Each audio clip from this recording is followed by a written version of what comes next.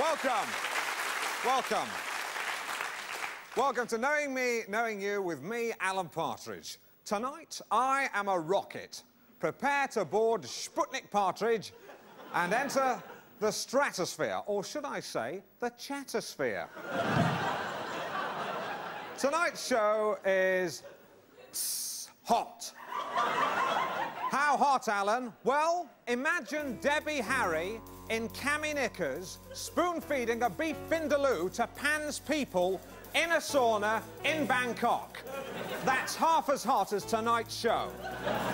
Because among tonight's spicy guests, I've got the hottest, sexiest dance act in Northern Europe, Hot Pants. And for the first time ever on an English-speaking chat show, a jacuzzi.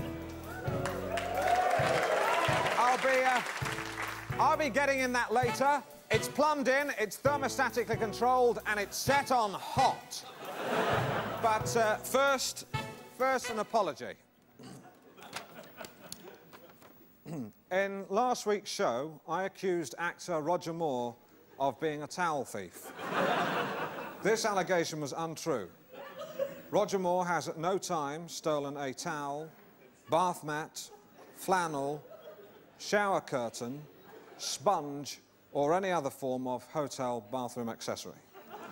I, Alan Partridge, apologise unreservedly to Roger Moore for my ill-informed and ignorant comments, and I fully acknowledge that I am guilty of gross professional misconduct. it's time now to welcome my resident house band, Glenn Ponder and Ferrari.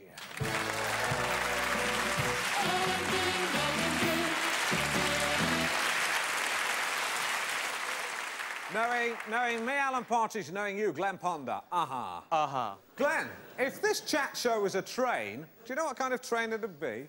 No, Alan. The Chattanooga Choo Choo. but, uh, seriously... what, what, was that whistle noise? What was that? Oh, you know, meant to be the train, Alan. Right, you, you didn't do that in rehearsal. it's meant to be a surprise, Alan.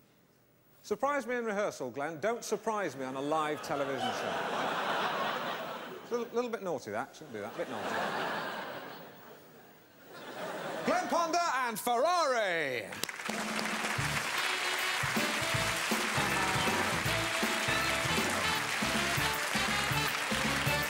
Oh, this show is hot. Can really work up a thirst.